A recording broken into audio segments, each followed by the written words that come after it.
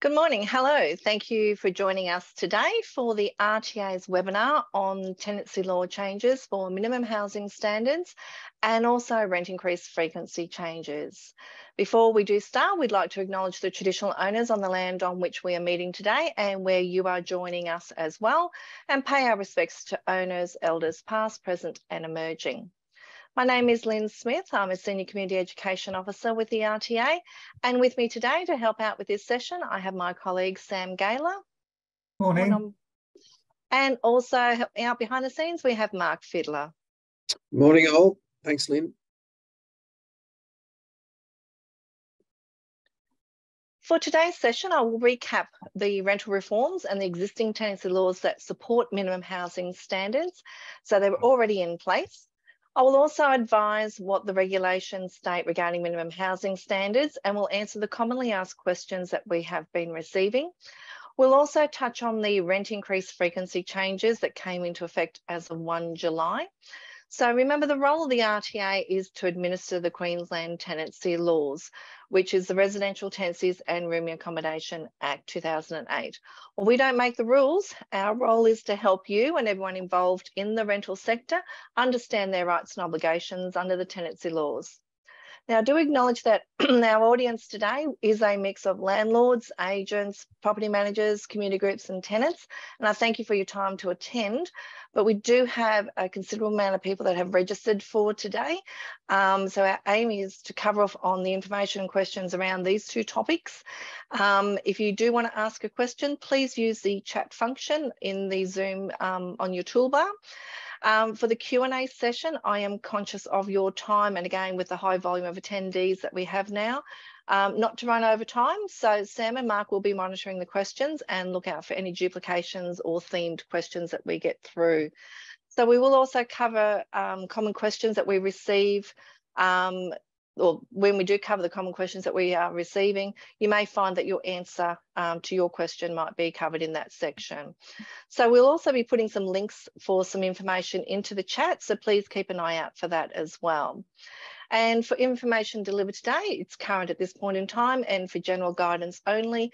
We cannot provide you with legal advice and for more information, you should always refer to the Act. So just a bit of a quick history on the rental reforms and how we got here. So this kicked off as part of a consultation back in 2018 to 19, which was the Queensland Government's Open Doors to Renting Reforms consultation. So the Queensland Government received over 137,000 responses from tenants, owners, property managers and other people in the rental sector. That was part of that consultation stage. The Housing Legislation Amendment Act 2021 was passed in October 21 and was implemented in a staged approach. So the first of the stages is the was the domestic and family violence provisions. So that came into effect October 21. Then last year in October 22, the framework for negotiating renting with pets, changes for the reasons to ending a tenancy, repair orders and some other amendments were introduced. Now, a lot of information is available on the RTA's website and a whole pile of resources as well in relation to those changes last year. The final part of stage one is what we're dealing with today, and that's the minimum housing standards. So as of 1 September 23, minimum housing standards starts for new tenancies and for all tenancies the following year. So I'm just going to quickly go over some of the amendments that started in October 2022 and are already in place to support the minimum housing standards.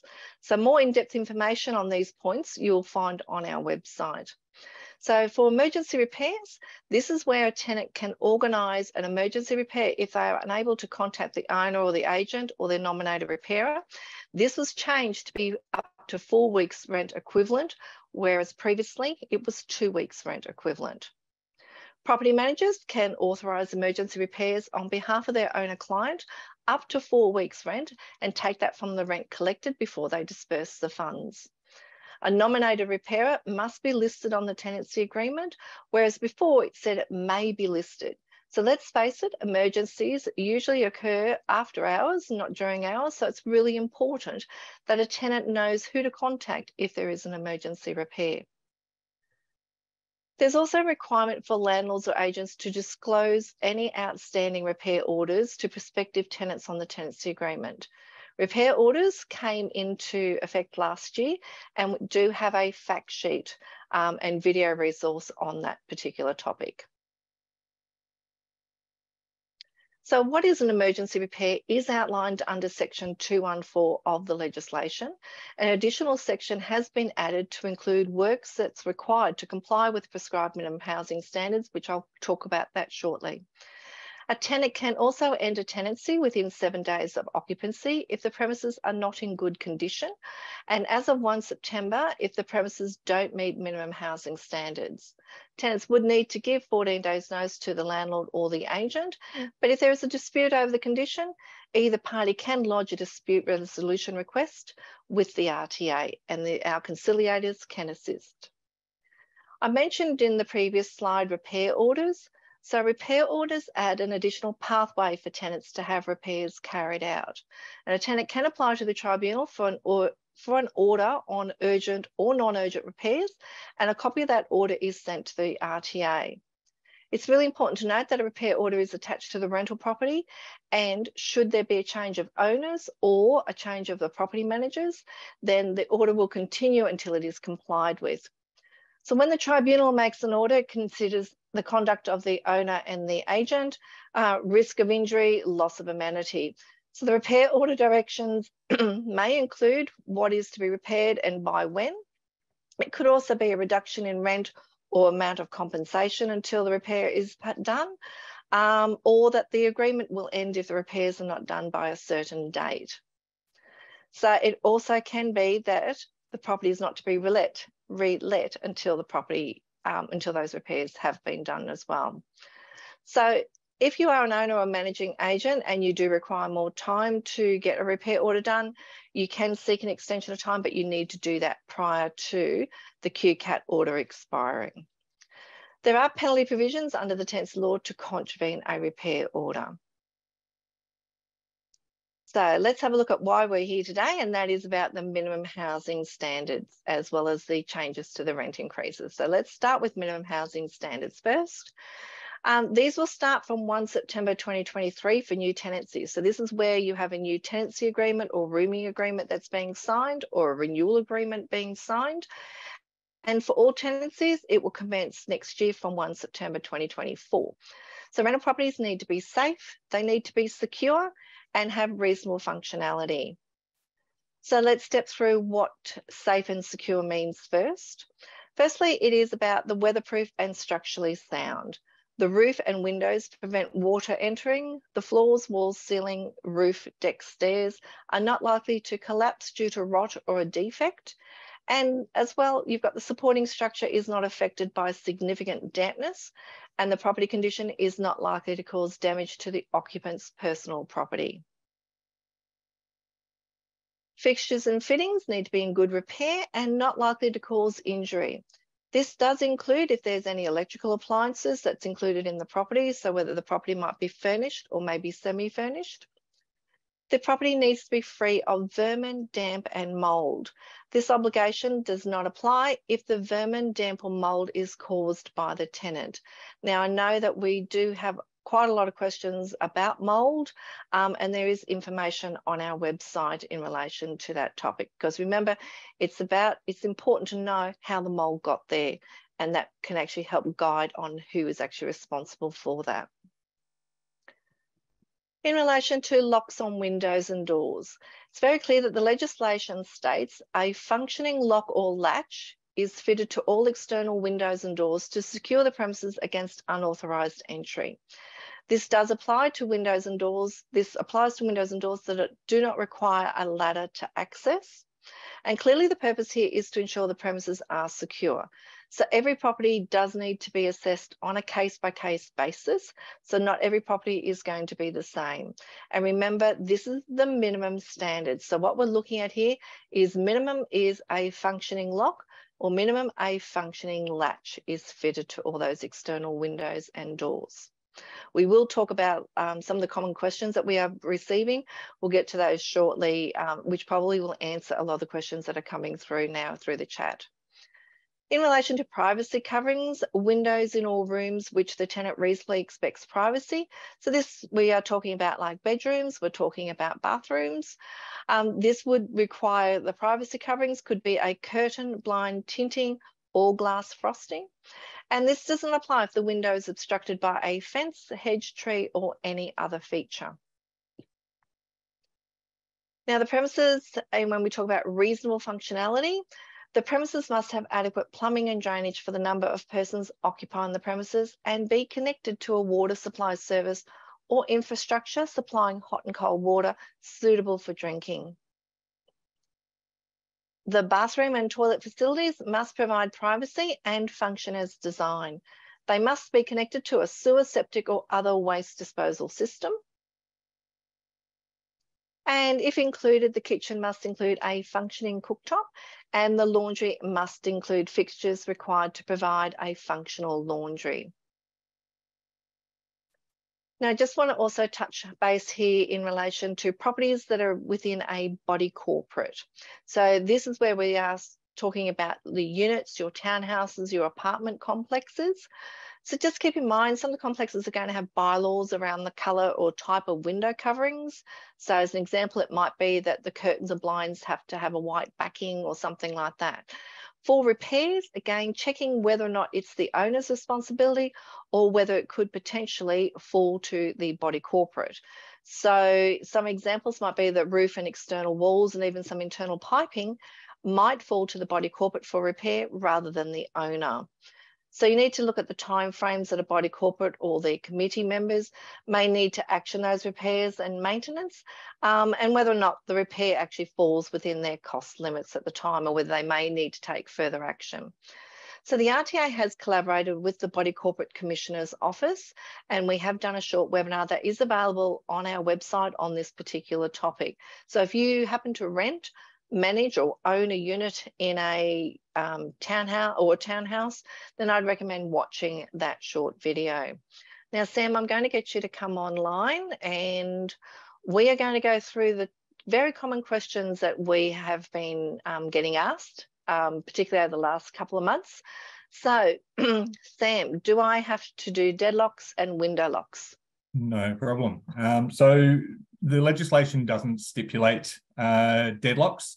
It does say that there needs to be a lock, uh, and on the window there needs to be a functioning lock or a latch.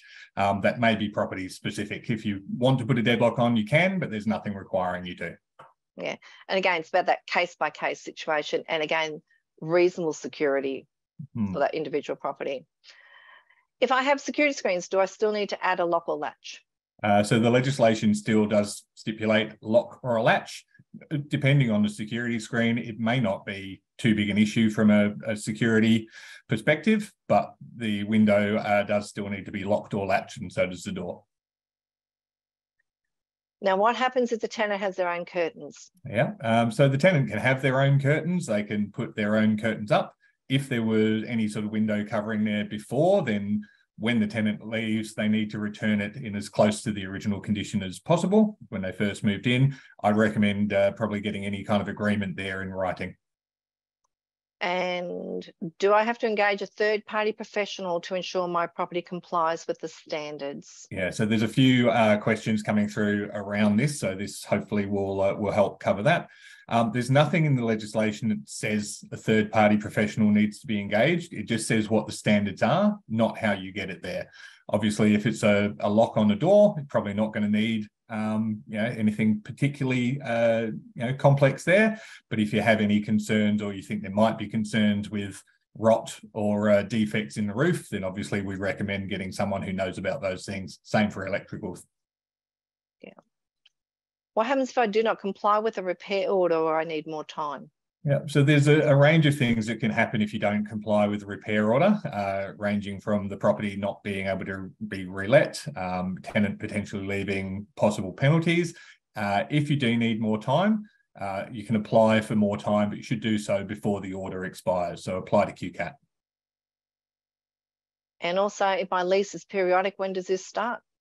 Yeah, it's a, it's a good one. So this is for uh, minimum housing standards is for um, new or renewed agreements at this stage, and then for all agreements uh, from September 1st, 2024. Great. Now I know that I have quickly just glanced at the chat as well. There is questions about mold.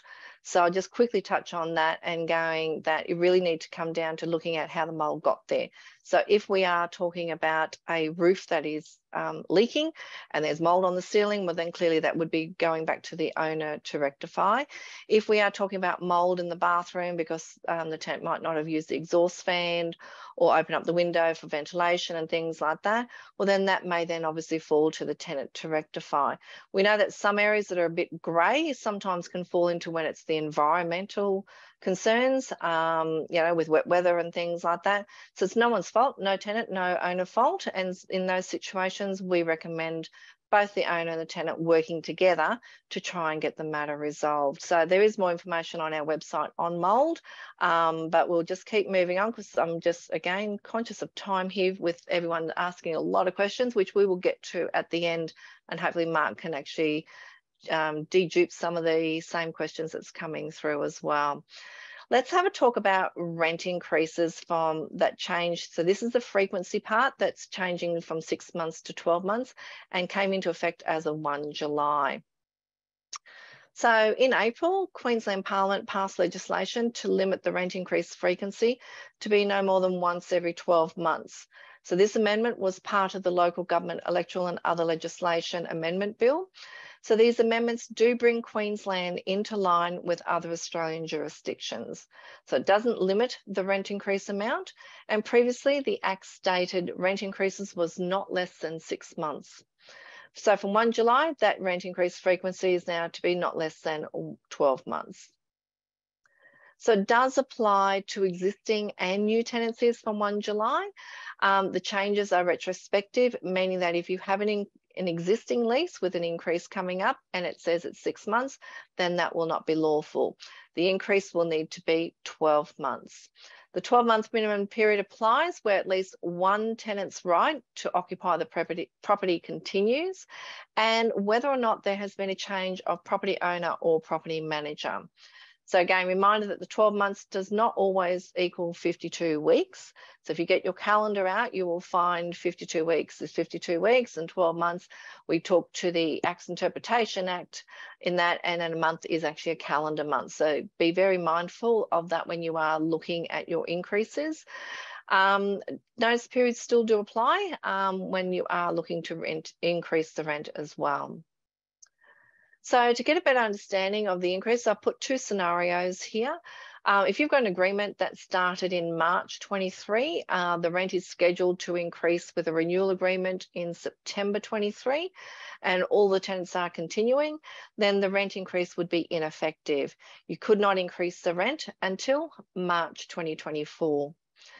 If you have a 12 month agreement that started, say, in April this year, has a special term with a rent increase that was due in October, Again, this increase would be ineffective and you could not increase the rent until April 2024.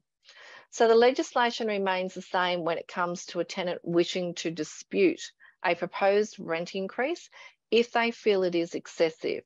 So a tenant can make an application to the tribunal, which is the Queensland Civil and Administrative Tribunal for an order. Um, there is a process to follow and some timeframes. So um, a tenant would need to go through the RTA's free dispute dispute resolution service first and must make the application within 30 days of receiving the increased notification. So if it does progress to QCAT, um, an adjudicator can consider a whole range of areas and that may be the range of market rents usually charged for this type of property, um, state of the property uh, or the repair, the term of the tenancy, uh, the proposed increase amount, um, and it could be anything else that the tribunal considers at the time. So we do publish median rent data, and I might get Mark just to put a link in our chat. Um, if you ever want to know what your median rent is for like one, two, or three bedroom units, or two, three, four bedroom houses in your individual postcode in your area, then you we do publish this every quarter, so you'll be able to find that on the RTA's website. Okay, so just going over some questions, Sam, I'll get you to come back online. And these are sort of the types of questions that we have been getting asked um, throughout our face-to-face -face sessions and also in our call centre as well. So first one, Sam, what happens if I've already signed a new lease and it's now not compliant? Yep, uh, no worries. So we would uh, suggest that the agreement be redone. Um, agents and owners obviously to talk with tenants um, and inform them of, uh, of that. Um, the rent amount will not be able to be the increased amount because it's not compliant. Um, if there's an issue where the tenant doesn't re-sign it or something, it's probably just as simple as a letter uh, or an email stating that the rent amount uh, will not be coming into effect. Okay, what happens if the tenant doesn't sign the amended lease? Yeah, so um, that's basically the the scenario that we talked about. Um, you know, if they don't sign it, it doesn't mean that the lease isn't valid, um, but it's just about making sure you've got clear communication. So it can just be an email to the tenant advising that that rent amount won't uh, won't apply, but the lease is still valid. And what happens if I have a special term in the lease already signed, but now that's not going to be compliant?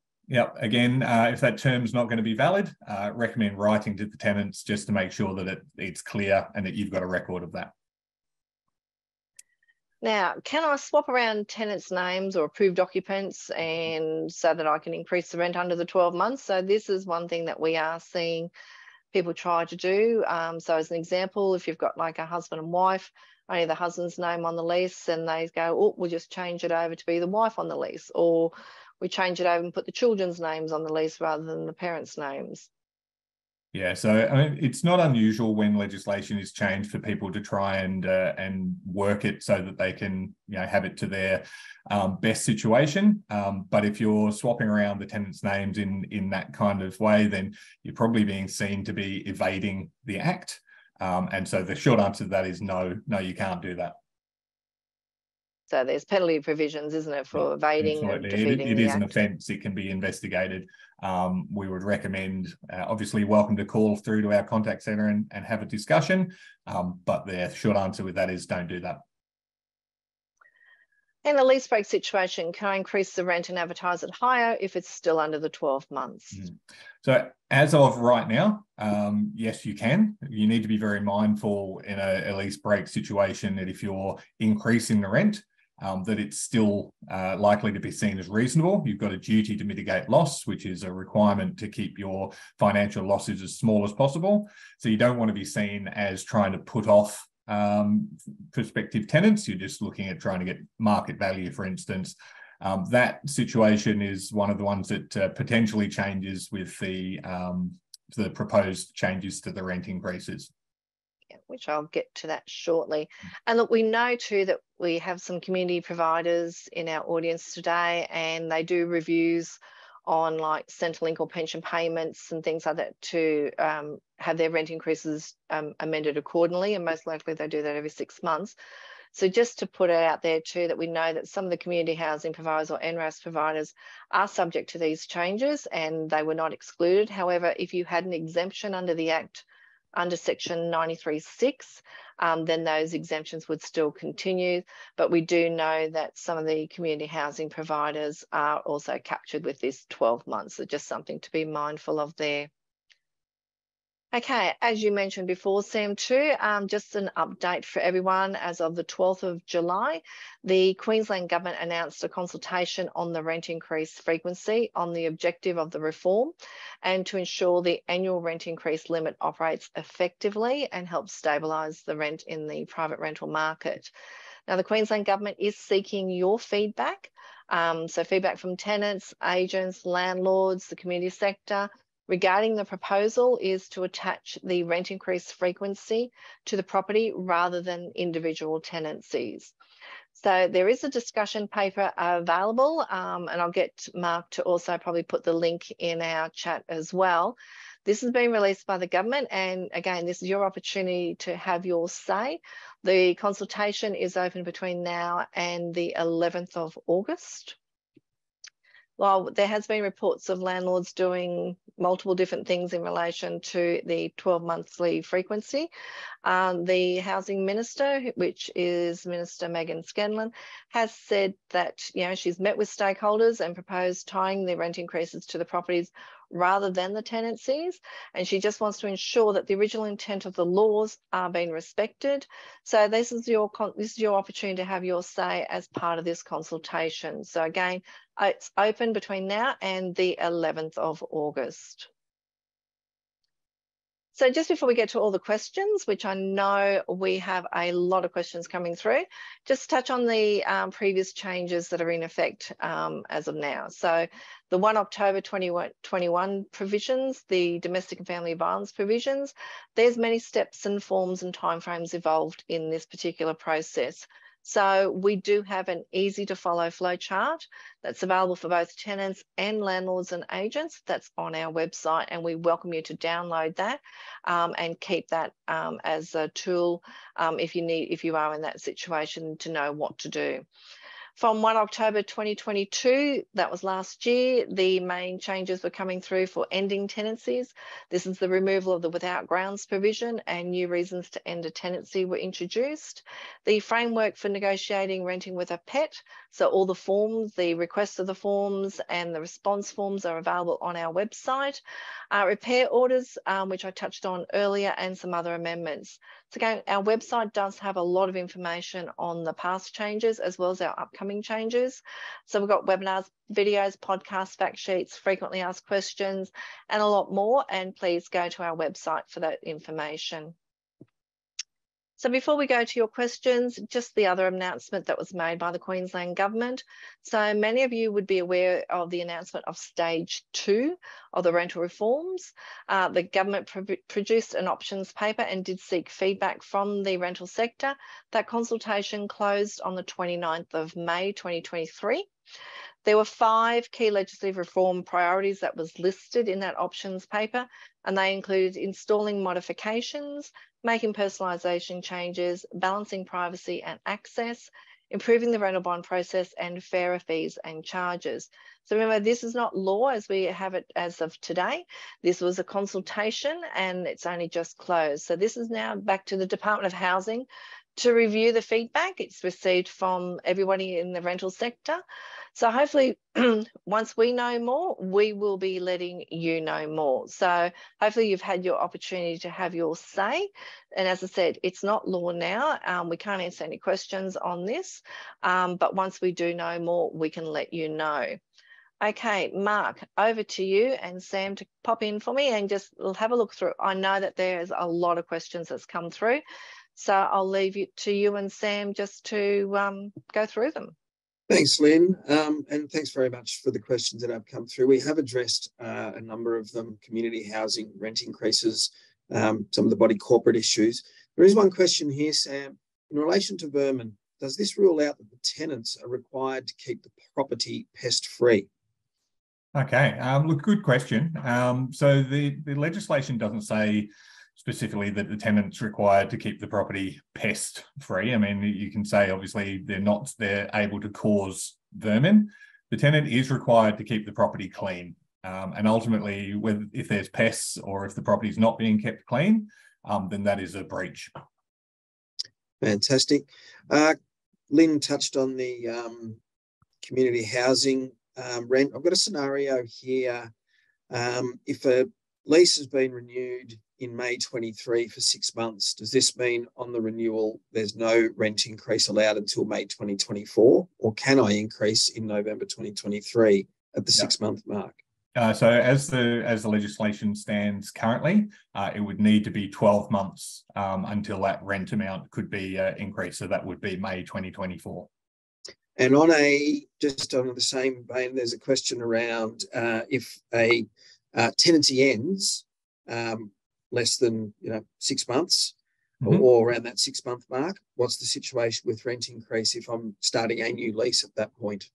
Yeah so as again we can only really talk to what the legislation is at the moment. We know there's some proposed changes but as the uh, as the legislation is at the moment if it's a brand new tenancy and all of the previous tenants have moved out um, then in that case there, there can be an agreement um, for an increase in the rent at that point, but it has to be all brand new tenants, none left from the previous one. Fantastic. Now, I know we did touch on this, uh, and one of the frequently asked questions was around this, but just to confirm, um, around latches. I've been asked what the definition of a latch is. We've been asked um, if uh, it already has security screens, uh, is a lock required? Hmm. Um, what about if there's fly screens only? Um, so just uh, if we could just uh, reconfirm uh, some of the information. Yeah, there. no worries. Um, so this is this is minimum housing standards, and and minimum is obviously the key word there. Um, security screens, fly screens are not mentioned in the legislation, although they may very well be a, a really good idea. Um, they may be very useful, but there's not a requirement under the legislation to meet these minimum housing standards to have a fly screen.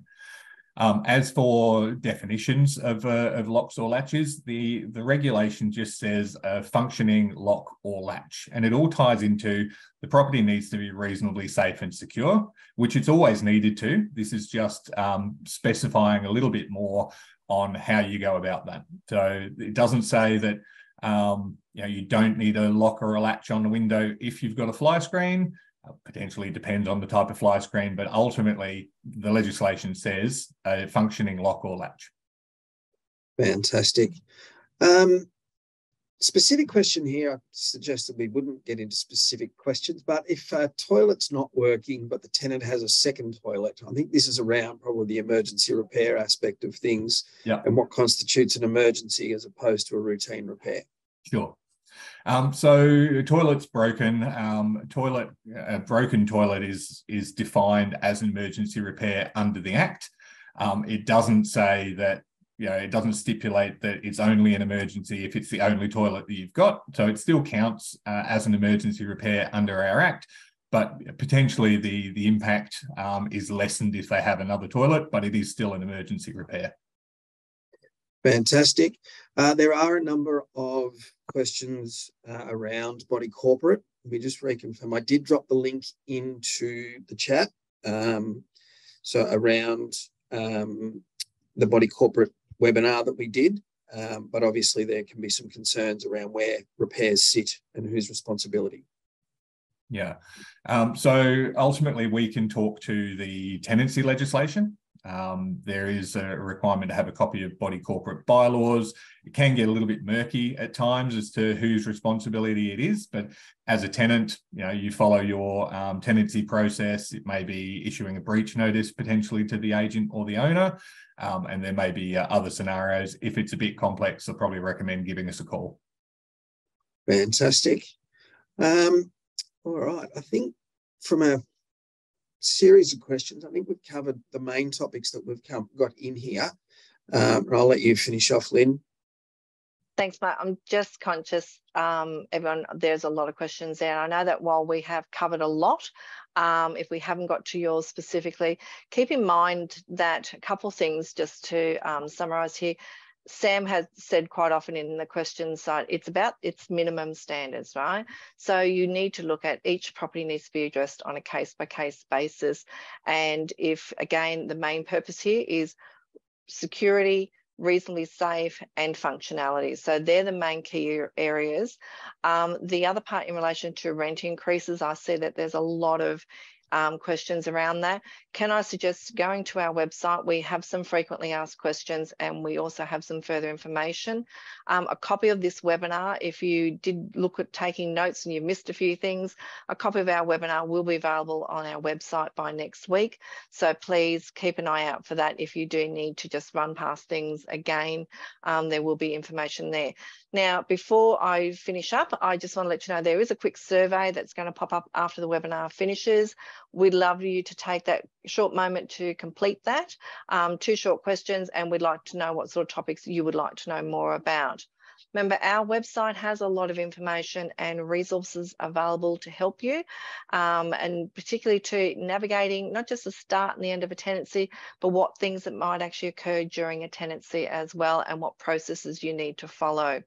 Our contact centre, our fabulous friendly staff in our call centre, is available Monday to Friday, 8.30 to 5, excluding public holidays, on 1300 366 311.